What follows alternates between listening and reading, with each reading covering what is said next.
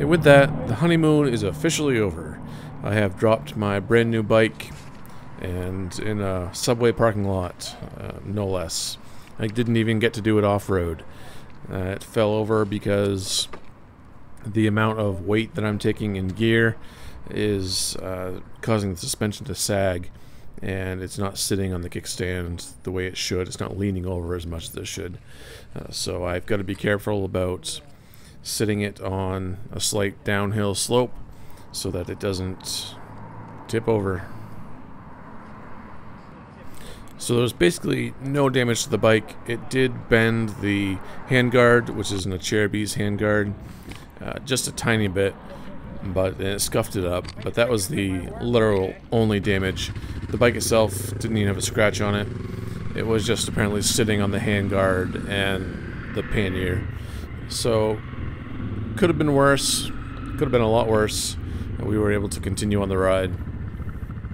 I almost didn't film anymore because the fall actually knocked my helmet off onto the ground and that knocked the battery pack from my GoPro off of my helmet. Uh, I did end up reconnecting it and just carrying the battery pack in my jacket.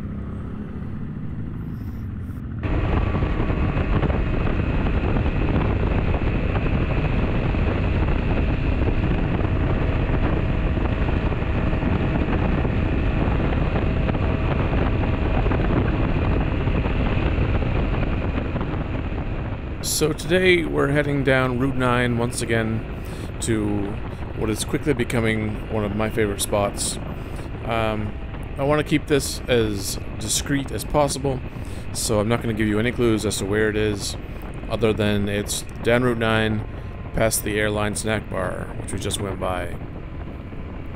This spot is absolutely gorgeous. Every time we've been there, we've been the only ones there. It's free and just can't beat it. It's easy to get to. It's closer than any of my other spots. I mean, it's just it's an unbelievable location.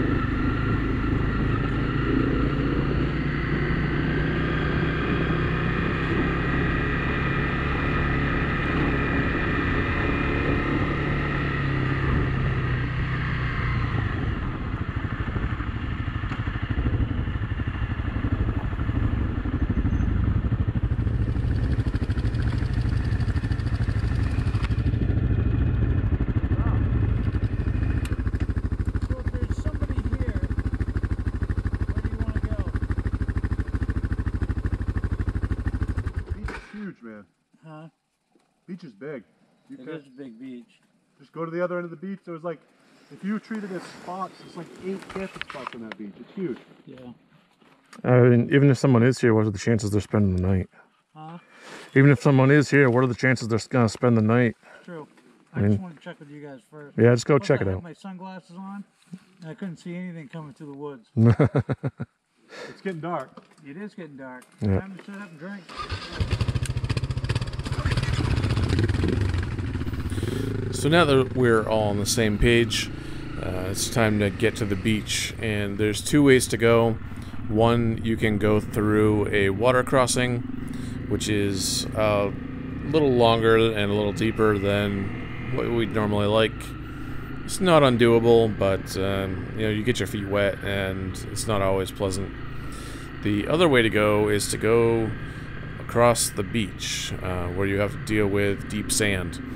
So this time around, Dave opts for the sand, and we're going to see how that works out.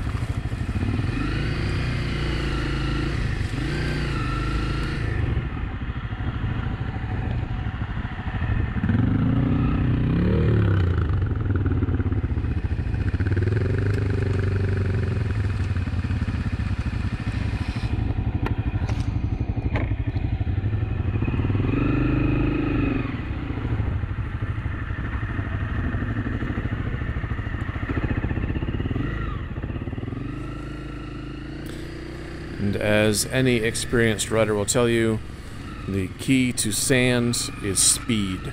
Um, but that's not always as easy as it sounds.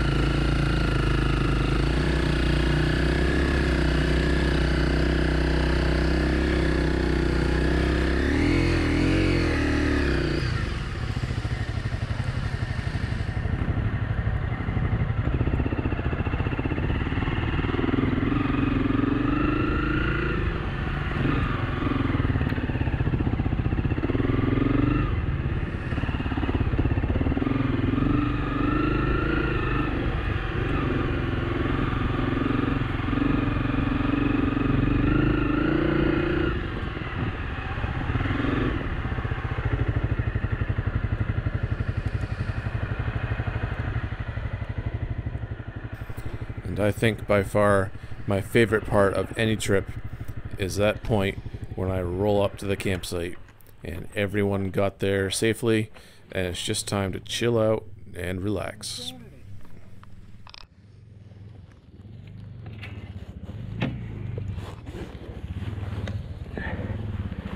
over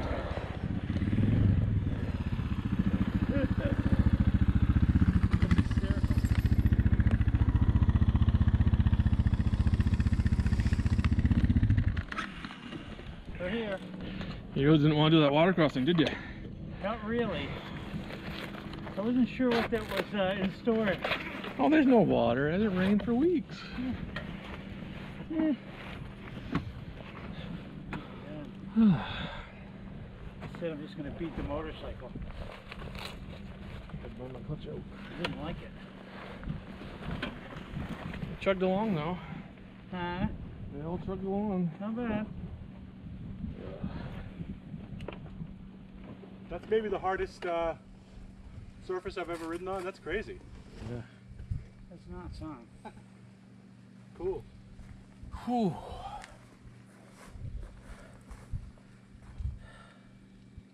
That's exhausting, really. Yep. Get your lights on. Yeah. Note to self: take the water route. and we used a chainsaw. We hiked all the way to Little Fall from there, backpack and and it was a half a day adventure. It was freaking below down. It was, it was hot. We were sweating.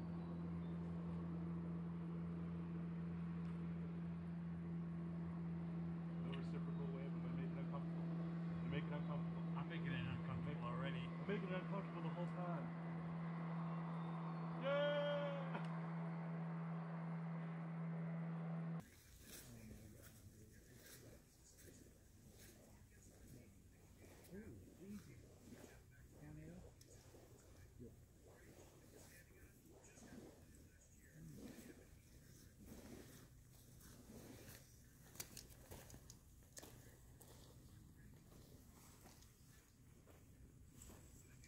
So they like find places that are really pretty, make, but need economic assistance and route them through it so that when you know, 15 bikers a week come through or 45 bikers a week come through at peak season, Right. all the local businesses are getting propped up.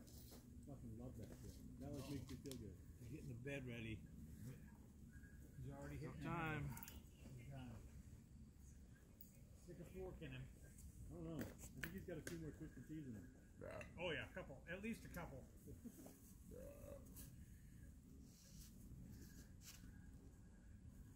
God, God willing. So we're gonna do a uh, fire or fuck. No, no, no. There's some like there's some firewood back here that someone didn't finish. We could just go around and like cut some sticks off trees and like, make a little make a little smudge. Right. A little smudge. I agree. Cover up in the morning. I had to get my dinner. Get your dinner. Get my dinner. So Christ, it's probably eight o'clock. Is it? Is it? Can't wait to crawl under that fucking hammer.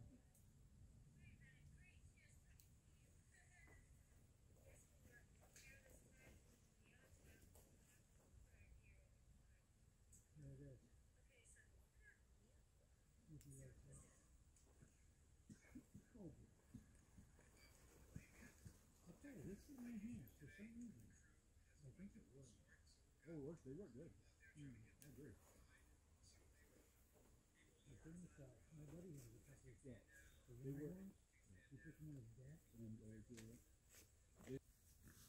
She said,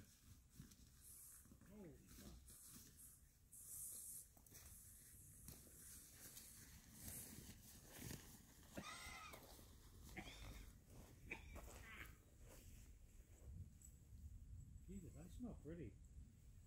I'm gonna put some on my feet, see if I can get out and lick my toes. What is that? Deep Woods Dry. Crawl into my the only bad part about it is it doesn't work for shit. No? Damn it. Out of my good stuff though. What it's done is made my feet really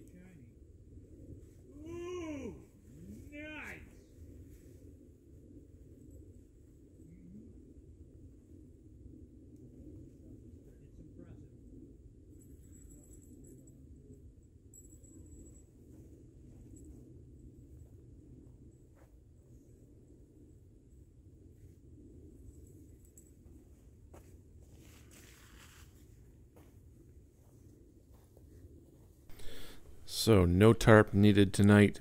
It is clear and calm. And we are all with the exception of the bug nets, are sleeping under the stars.